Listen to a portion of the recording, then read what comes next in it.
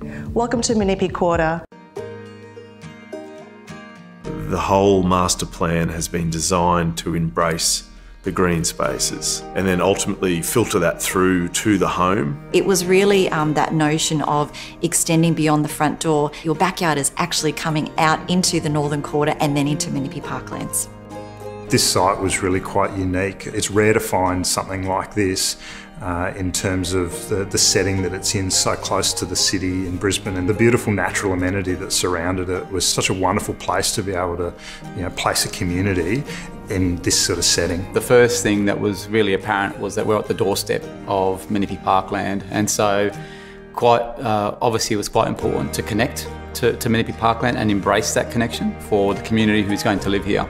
We've been able to retain over a quarter of the site, which will be open green space or resident amenities. So it makes it very rare and very special. So community vision was more about people coming home and enjoying uh, not just that private retreat, but also getting out and, and, and um, enjoying the amenity that we've created for them. We wanted to come up with a, a, an overall design of the master plan that gave people the opportunity to socialise with their neighbours, to you know, just be outside. One of the things we've done here is, is really tried to make sure that when you're in the pool area and the pavilion area, you're actually immersed by subtropical vegetation. From every point in their home, they'll see a green element, and I think that's going to make it the most special.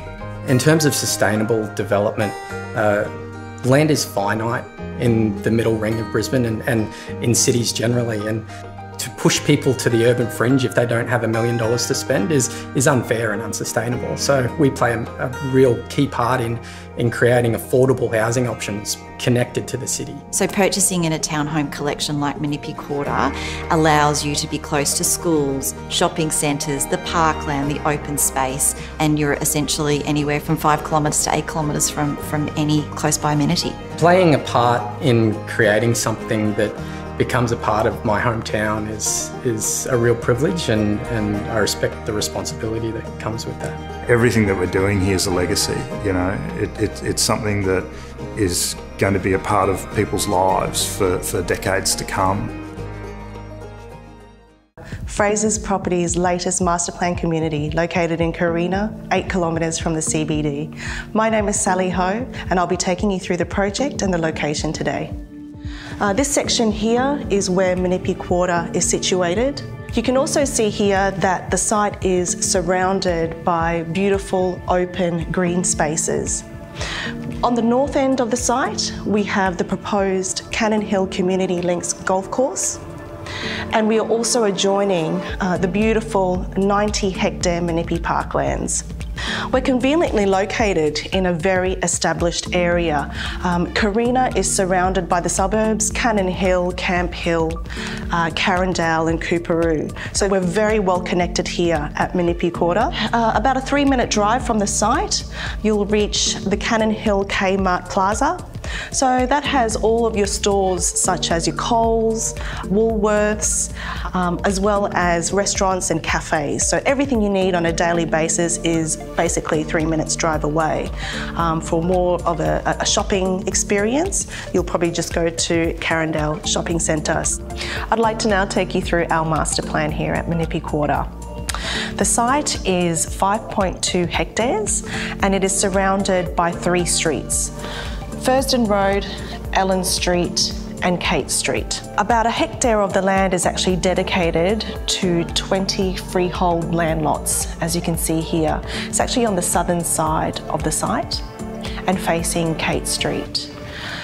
It was very important for us to um, maintain that streetscape coming through Kate Street, and that's the reason why Fraser's property decided uh, to put 20 freehold land lots so buyers can actually purchase it and build their own dream home on.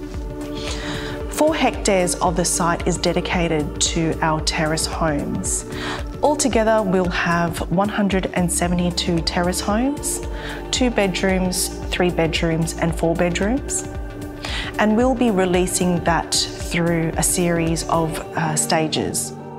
Features within the terrace home, we have 2.7 metre high ceilings within the kitchen, living and dining level.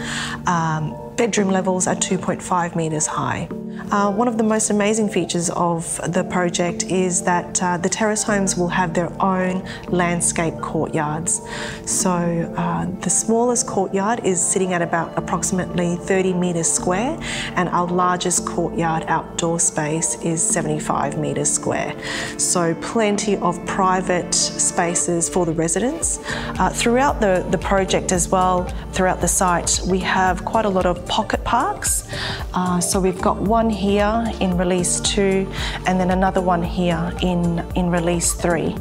Uh, altogether, we have over one hectare of space dedicated to residents' enjoyment and amenities. So it's about 11,000 metres square. Adjoining to this parkland, we will also have a fully equipped gym which then joins onto a 25 metre lap pool with an infinity edge overlooking the parklands. Fraser's Property Australia has been building communities for over 95 years. Many of our projects have been award winning and no doubt Minnippi Quarter will be one of them. We have so much to here to offer our residents.